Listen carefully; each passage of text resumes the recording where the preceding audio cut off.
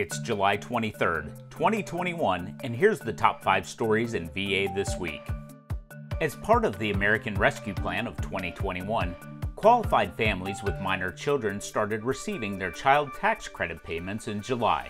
Unlike the previous child tax credit, which is applied when families with minor children file their taxes at the end of the year, this child tax credit will be dispersed from July to December 2021. The new change increases the amount of child tax credit for which a family qualifies. Compared to what was received in the past, families could see an increase of more than $1,000 based on their financial qualifications. The Veteran Readiness and Employment Service has a web-based tool and series of videos that are designed to increase understanding of the program and enhance veteran experience.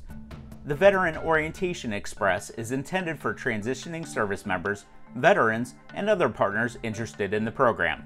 The tool will initially prompt users with a few basic eligibility screening questions. If the eligible member or veteran appears to be eligible, the tool continues with the orientation of the program by presenting detailed information and short videos. A free self-development e-course is now available from the Travis Manion Foundation. This is the perfect tool for veterans looking to create actionable goals to achieve success in their careers and well-being. The course is recommended for those transitioning from military to civilian life, looking to begin a new career, or any number of life changes big or small. This opportunity is available for all and at no cost. There are many ways to take an active role by working with your healthcare team to improve your health. Being involved in your healthcare is especially important in the management of diabetes and hypoglycemia.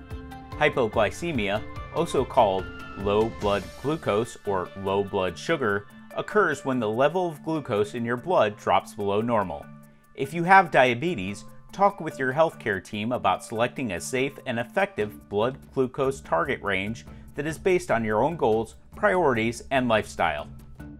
VA is working closely with National Cancer Institute to expand access to clinical trials, helping more patients access life-changing studies.